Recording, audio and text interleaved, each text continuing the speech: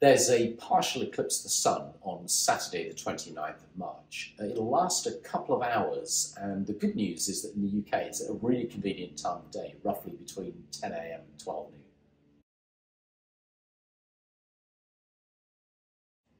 During a solar eclipse, what happens is that the moon moves directly between the Earth and the Sun. That doesn't happen every month because the moon's orbit around the Earth is tilted compared with the Earth's orbit around the Sun.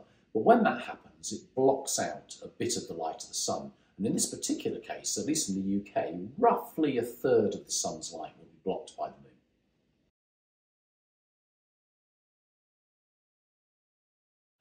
With this eclipse, it's really, really important to stress that even though a third of the sun's light is gone, it's covered up by the moon at its peak, it's still really dangerous to look at. You mustn't look at it with your naked eye. You mustn't look at it through a telescope unless you have the right kind of filters. Now, you'll probably know if you've got these. You can buy them from reputable astronomy suppliers. They must have the safety marks on them that indicate they're of the required standard. In other words, they will block out the vast amount of the sun's light that would otherwise damage your eyes. So, you know, I strongly recommend using that approach. You absolutely must look at it through a safe filter. Another method of observing the sun safely is to project it onto a screen. And you can do that in various methods. You can take, say, a pair of binoculars or a telescope and use a bit of card behind it, but do get good advice on how to do that.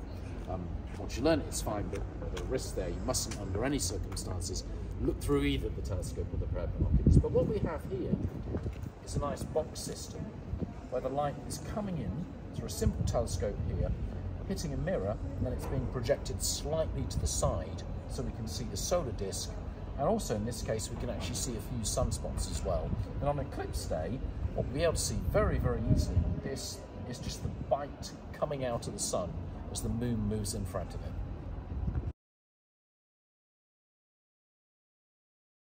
Partial eclipses like this are relatively common, but sadly in the UK, we're going to have to wait till 2081 if you're in the Channel Islands to see a total solar eclipse. And if you're on the south coast of England, 2090. So you know, I'm not going to reveal my age, but I think it's fair to say that I won't be around to see either of those. Um, that said, if you're in Spain in 2026, in the right part of Spain at least, there happens to be a total solar eclipse then. So my guess is an awful lot of people are going to see that.